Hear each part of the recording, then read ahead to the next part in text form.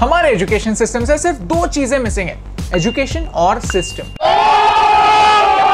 नहीं सीरियसली कल मैंने इंटरनेट पर ये लाइन पढ़ी and I started thinking why why do we complain about our education system ऐसा क्या गलत है हमारे एजुकेशन सिस्टम में और इसे चेंज करने के लिए हम क्या कर सकते हैं? 2020 में भारत ने एक नई एजुकेशन पॉलिसी लाई। जिस बात पर 30 साल से सिर्फ़ डिस्कशन हो रहा था वो अभी एक्चुअली इम्प्लीमेंट होने जा रहा है। लेकिन कुछ चैलेंजेस चुटकी बजाते ही सॉल्व नहीं हो सकते। In the next few minutes हम पाँच ऐसे प्रॉब्लम्स डिस्कस करने वाले हैं जिन्हें हमारे एजुकेशन सिस्टम को सॉल्व करने की ज़रूरत है। तो अगर आपने भी इन प्रॉब्लम्स को फेस किया है तो इस वीडियो को शेयर कीजिए एक डिस्कशन शुरू कीजिए। भारत के लिए इंपॉर्टेंट टॉपिक्स पर एक आसान भाषा में वीडियो बनाना हमारा मिशन है। हमें सपोर्ट करने के लिए हमारे यूट्यूब चैनल को सब्सक्राइब कीजिए और इस बेल आइकॉन को प्रेस कीजिए। नंबर फाइव रैट रेस दुनिया में हर सात में से एक इंसान भारतीय what if 130 crore people discover their best lives India will be limitless कहते हैं, उस नीली छतरी वाले ने हर किसी को एक वजह से, एक पर्पस से बनाया। लेकिन हमारी एजुकेशन सिस्टम उस पर्पस की तलाश में हमारी मदद नहीं करती। इंस्टेड सब बच्चों को एक ही रैट रेस का हिस्सा बनाती है। लेकिन ये रैट रेस क्या है? In simple words rat race is that race where the winner gets nothing but the satisfaction that he is ahead of the losers हमारी सारी थिंकिंग का फाउंडेशन ही जब कंपैरिजन से बनता है, तब इमारत ज़्यादा ऊँची बन ही नहीं सकती।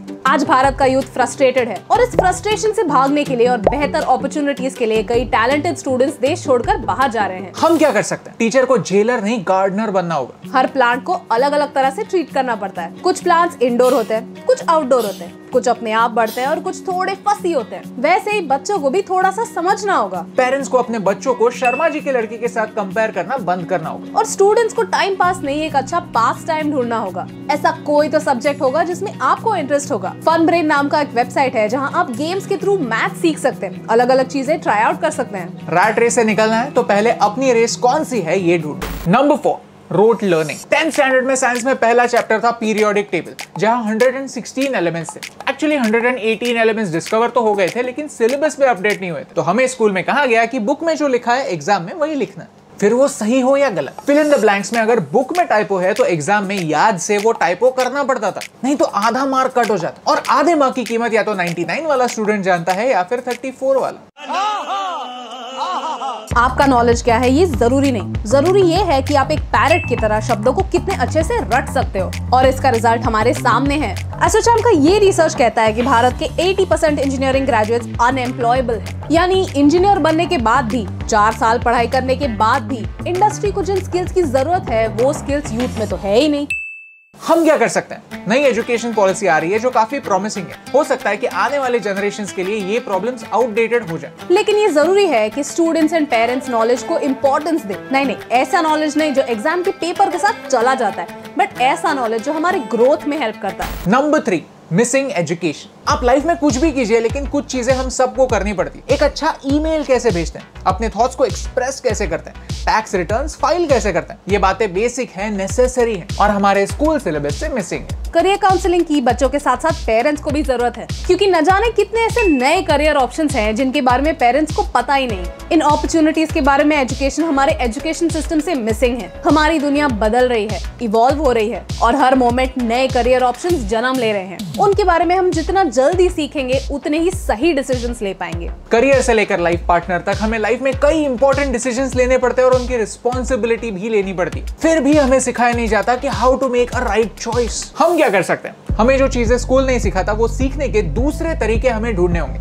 आज दुनिया भर की सारी इन्फॉर्मेशन हमारे फिंगर टिप्स पे है। इंटरनेट पर आपकी पर्सनालिटी को जानने के कई टूल्स अवेलेबल हैं। We have listed some of them in the description so check them out हमारे एजुकेशन सिस्टम के टॉप टू प्रॉब्लम्स बताने से पहले we want to thank Skillshare for bringing this video to Skillshare एक online learning community है जहाँ हज़ारों अलग अलग क्लासेस अवेलेबल हैं। अगर आपको डिज़ाइन में इंटरेस्ट है या पियानो सीखना चाहते हैं या सीखना चाहते हैं कि कैमरा पर कॉन्फिडेंटली कैसे बात करें स्किल शेयर पर आपके लिए छोटे छोटे क्लासेस अवेलेबल फॉर एग्ज़ाम्पल मैंने अभी जस्ट मेरे फेवरेट यूट्यूबर एम के एक क्लास कंप्लीट की जहाँ उसने उसके कंटेंट क्रिएशन की सारी प्रोसेस एक्सप्लेन की। वो स्क्रिप्ट कैसे लिखता है शूट कैसे करता है और टॉप नॉच वीडियोस अपलोड कैसे करता है ये सब उसने अपने स्किल शेयर क्लास में सिखाया ये सारा नॉलेज आपको 1788 rupees per year which means 149 rupees per month की प्राइस में मिलता है which is less than what you would spend on say pizza. और हमारे व्यूअर्स के लिए स्किल शेयर ने एक स्पेशल ऑफ़र दिया पहले 20,000 स्टूडेंट्स जो इस लिंक से साइन अप करते हैं उन्हें स्किल शेयर का प्रीमियम सब्सक्रिप्शन कुछ टाइम के लिए कंप्लीटली फ्री एक्सपीरियंस करने मिलेगा। So click on the link in the description and learn something new. Number 2. Learning from sports किसी भी स्पोर्ट्स से सिर्फ़ फ़िज़िकल फिटनेस नहीं मेंटल फिटनेस भी आती है। चैलेंजेस को फेस करना हमें स्पोर्ट्स सिखा सकते हैं। प्रेशर कैसे हैंडल करना है ये हमें स्पोर्ट्स सिखा सकते हैं। सक्सेस के साथ साथ फेलियर से कैसे डील करना है ये हमें स्पोर्ट्स सिखा सकते हैं। और वो भी खेल खेल में। यूनिसेफ ने सौ से ज़्यादा देशों में एक रिसर्च किया जहाँ 300 से ज़्यादा स्पोर्ट्स फॉर डेवलपमेंट एक्टिविटीज़ के थ्रू बच्चों को एजुकेशन दिया गया अफ्रीका के देशों में जहाँ बच्चों को पढ़ाई में इंटरेस्ट नहीं था उन्हें फुटबॉल के थ्रू चीज़ें सिखाई गई। खेल खेल में फिजिक्स समझ आ गया। खेल खेल में बच्चा टीम वर्क सीख गया। खेल खेल में उस विलेज से क्राइम भी कम हो गया। बिकॉज़ चोरी में जो थ्रिल आता था, वो थ्रिल बच्चों को कहीं और से मिल गया। हम क्या कर सकते हैं? टीचर्स को सब्जेक्ट एंटरटेनिंग बनाने होंगे। हम सबकी लाइफ में कोई ना कोई एक टीचर ऐसे होता है जो स्कूल के बाद भी याद रहता है। कुछ तो बात होती है उनके सिखाने के तरीके में, ज़्यादा नहीं। सिर्फ़ एक परसेंट एक्स्ट्रा एंथुजियाज्म एक परसेंट एक्स्ट्रा इंटरेस्ट एक परसेंट एक्स्ट्रा हँसी मज़ाक कोई सब्जेक्ट को मेडिसिन नहीं मिठाई बना सकता है। स्पोर्ट्स एजुकेशन सिर्फ़ कंपेटिटिवली नहीं लेकिन एज अ प्रैक्टिस बच्चों को सिखाना होगा। Puzzles games mental sports education में इनका भी हाथ होता है जो एक नॉन स्पोर्ट्स टीचर भी अपने टीचिंग में अडॉप्ट कर सकता है। एज पेरेंट्स हमें बच्चों को प्ले टाइम अलाउ करना होगा। A playground can teach you so many things that a classroom can't even imagine and now number one thing जो हमारे एजुकेशन सिस्टम से मिसिंग है वो ये है कि हमारे टीचर्स की respect Global Teacher Status Index says that India's teachers are amongst the least paid teachers in the world. हर साल भारत का पॉपुलेशन 2.8 करोड़ से बढ़ता है आज भी 50% of our population is under the age of 25. We're a young country desperately looking for decent education. लेकिन फिर भी भारत में 8000 सरकारी स्कूलों में टीचर्स ही नहीं है जहाँ आइडियली एक क्लास में 28 बच्चे होने चाहिए वहाँ कई स्कूलों में 100 से ज़्यादा बच्चे हैं क्योंकि सिखाने के लिए टीचर्स ही नहीं है सर्व शिक्षा अभियान कहता है कि 3.74 lakh teachers post are lying vacant हम ये सुनते हैं कि India has to invest in education लेकिन इस इन्वेस्टमेंट का मतलब सिर्फ़ इंफ्रास्ट्रक्चर नहीं होता। क्वालिटी टीचर्स हायर करना और उन्हें एक रिस्पेक्टेबल सैलरी देना भी इंपॉर्टेंट ताकि एक ऐसी सिस्टम बने जो उन्हें रिटेन कर पाए। और नंबर्स को छोड़िए पिछले साल की बात है ऑनलाइन क्लासेस के वक्त। जब टीचर्स एक नई टेक्नोलॉजी सीखने की कोशिश कर रहे थे,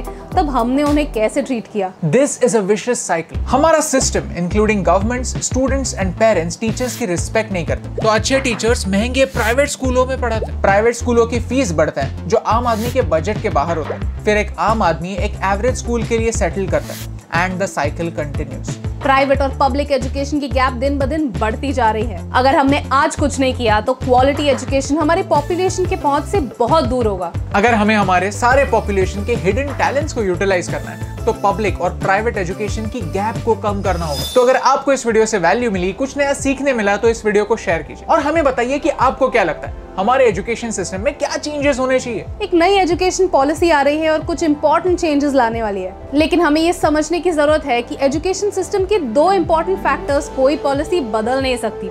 वो है स्टूडेंट्स और उनके सीखने का जज्बा। लेकिन कुछ भी कही इस फ्लॉड एजुकेशन सिस्टम ने भारत को कुछ फ्लॉलेस रतन ज़रूर दिए। क्योंकि उन्होंने जो चीज़ें वो बदल नहीं सकते, उन पर फोकस नहीं किया। कदम कदम पर खुद को इंप्रूव किया and the rest is history और ये सिंपल सी बात आप तक पहुँचाने से मुझे फ़र्क है। टीम हम हमेशा सोचते थे कि मीडिया भारत के बारे में इतनी नेगेटिव क्यों तो हमने एक पॉजिटिव सोल्यूशन बेस्ड अप्रोच अपनाया। अगर आपको ये वीडियो अच्छा लगा तो लाइक बटन प्रेस कीजिए। अगर आप यहाँ पर नए हैं तो यहाँ पर क्लिक करके सब्सक्राइब कीजिए और नए वीडियोस के अपडेट्स मिलने के लिए बेल आइकन को प्रेस कीजिए। और ऐसे ही और पॉजिटिव वीडियोस देखने के लिए यहाँ पर क्लिक कीजिए, क्योंकि आपके सपोर्ट से मुझे फ़र्क पड़ता है।